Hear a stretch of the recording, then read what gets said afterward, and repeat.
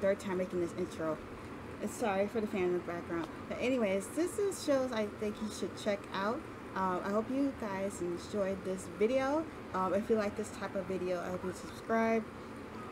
And um, I see you all in a little bit. Now the first show I'm going to talk about is actually Wentworth. Uh, I would like to compare it to Orange is the New Black, but actually not. Because Orange is the New Black, the prison is actually like in New York. And Wentworth, I think it takes place in like Australia. And the main character, Bea, I'm not to tell you like everything because if I tell, I'm not even that far in. I'm like on episode 4. But it's like a really good show.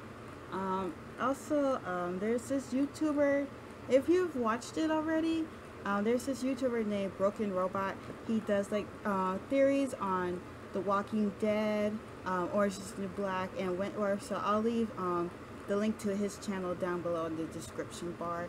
But um, yes, this one, this show right here, I was very shocked by it because a whole lot happens in the first episode, and you would you would just be shocked to know that. Now the next show I'd like to talk about is is um it actually has been off for quite a while. And I actually just caught it on Netflix, but boy, once I started watching I couldn't stop. It's Future Futurama with Leela, Bender, and Fry, and the Professor, and everybody. It's just really good show. It has like, ten, I want to say 10 seasons. And I really like Leela. I like all these three characters the most because Fry and Bender, the way they banter with each other and the way Leela and Fry were bantering with each other, it's so funny. If you've never watched Futurama, just go watch it if you haven't watched it. This show is also a new one for me. I actually heard of this show, Limitless, from someone I know. Um, yeah, this guy, he seems like he's very smart, you know. He knows like about this direction, that direction. I'm only on the first episode, so I only know a little bit. You can catch it on Netflix. Um, I heard the show kind of got canceled, but I, I, don't know what's going on with the show, whether it's canceled or not.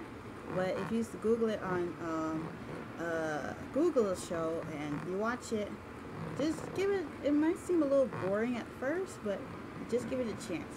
It, it's really, it's actually really good.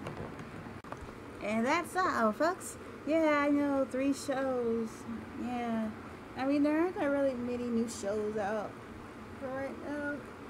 I mean, Wentworth is going on fourth, fifth season, I think, and Limitless only has one season.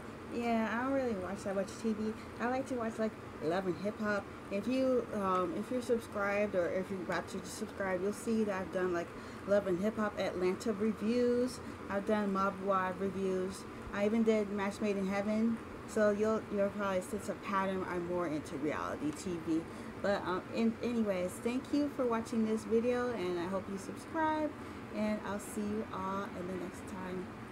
Thank you for watching.